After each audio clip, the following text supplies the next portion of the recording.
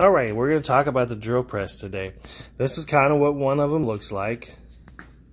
Here is what another one looks like. This is another one that we have. They work very similar, but we're going to show you basically how to do the setup today. So right over here, this is our newer one.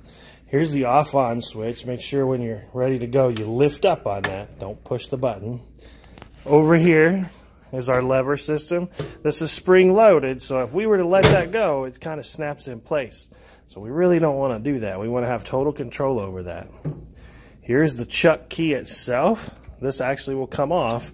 One of the key points of this drill press is always make sure that nobody has done this. Nobody has left the chuck key in the chuck. This one's spring loaded, so if I try to leave it in there, it's going to bounce out.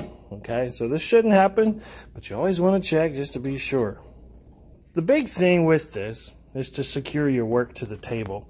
This little piece down here, this is the table right here. So we've got to make sure that we can we can get our drill bit up to that. This is called a spade bit here, a wood bit, commonly used. What we're going to try to do is just kind of drill a hole in this piece of stock right here. Now the very first thing I'm going to need to do though is I need to put a mark on the board. So give me just a second and we'll put that on there. So I'm going to, I would act like I would measure it. So I kind of want it right here in the middle. Now the last thing I want to do, I don't want to be holding this in place. That's just an accident waiting to happen. So what I am going to do is I'm going to put the vise on here. And I'll go ahead and I'll clamp the work. So I'm going to clamp this in place. And make sure that clamps pretty tight. Now if you realize this, that's as far as the drill bit goes down. So what I'm to have to do is raise the whole table up.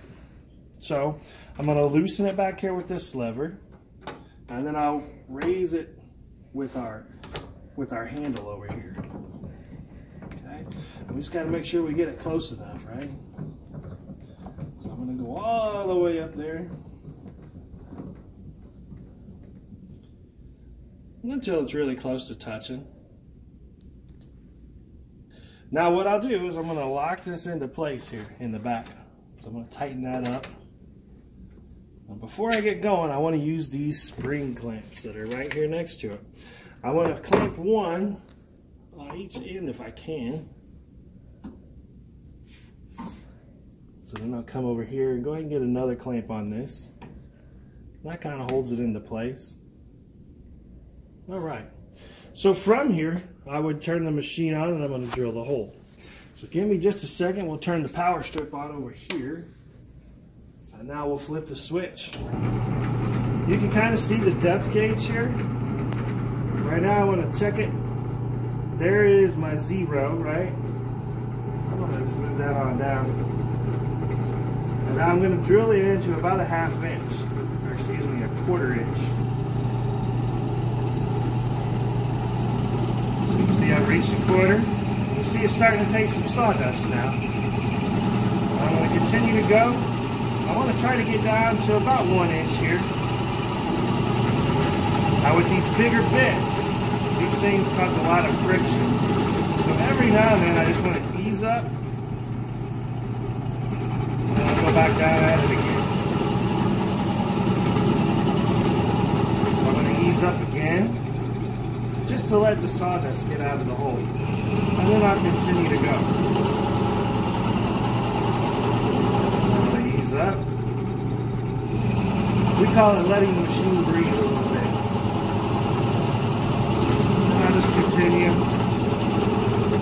Then I'll ease up a little bit. And I'll go again. Now you notice I'm going at a pretty nice and controlled speed.